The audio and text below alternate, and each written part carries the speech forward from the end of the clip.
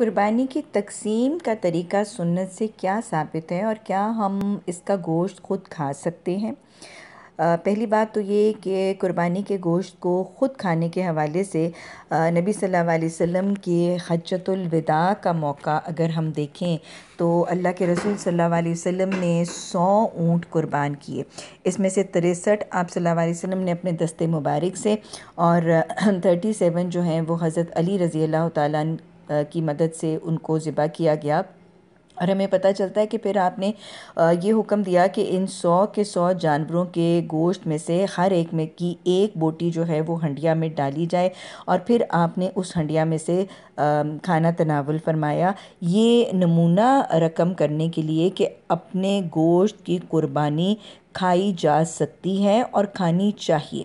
تو گویا یہ خوشی کا موقع ہے اور یہ اہل خانہ کے لیے ایک خوشی کے اظہار کے لیے مل بیٹھ کر اپنے جانور کے گوشت میں سے کچھ کھا لینا، اس کی کوئی ممانعت نہیں، بلکہ اس کو کھا لینا عین سنت رسول صلی اللہ علیہ وسلم کے مطابق ہے۔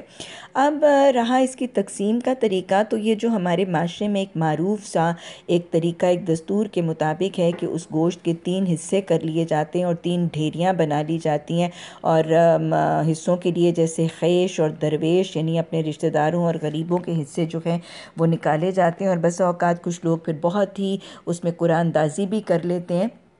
تو یہ میں واضح کرتی جاؤں کہ یہ طریقہ کار حدیث کی رہنمائی کوئی خاص اس حوالے سے نہیں ہے اور نہ ہی کوئی سنت کا ایسا انداز ملتا ہے۔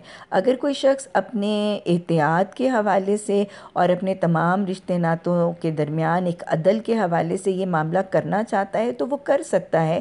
لیکن یہ ذہن نشین رکھیے گا کہ ہمیں حدیث اور سنت کے ذریعے اس چیز پر پابند نہیں کیا گیا کہ تین ہی حصے کر کے ان کو تقسیم کیا جائے کہ ایک حصہ اپنے لیے رکھا جائے اور ایک غریبوں کو لازماً تقسیم کیا جائے اور ایک رشتہ داروں کو لازماً دیا جائے تو ایسا معاملہ نہیں ہے۔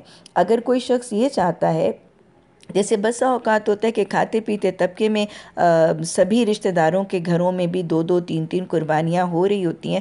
تو اگر ایک باہمی ڈیسیجن سے کہ آپ لوگ ہمیں مت دیں اور ہم آپ کو نہ دیں اور یہ سارا ہی غریبوں، مسکینوں میں تقسیم کر دیا جائے، تو اس میں بھی کوئی کباہت نہیں ہوگی۔ اگر رشتہ داروں کو دینے کی بجائے اور کھاتے پیتوں کو مزید دینے کی بجائے آپ غریبوں، مسکینوں میں بھی سارا حصہ اپنا تھوڑا سا رکھنے کے بعد تقسیم کرنا چاہتے ہیں، تو یہ اسی لیے میں بتا رہی ہوں کہ یہ پابندی کے ضرور ہی تین ڈھیریاں لگانی ضروری ہیں۔ یہ حدیث اور سنت سے ثابت نہیں ہے۔ بہرحال خود کھانا بھی چاہیے اور اگر رشتہ داروں کو بھیجنا چاہتے ہیں تو بھی بھیج سکتے ہیں اور تقسیم بھی کیا جا سکتا ہے۔ لیکن یہ ذہن نشین رہے کہ جو اللہ کی راہ میں غریبوں، مسکینوں، فقیروں کو جتنا تقسیم کیا جائے گا، وہ انشاءاللہ بہترین اجر و ثواب کا ذریعہ بہرحال ضرور ہوگا۔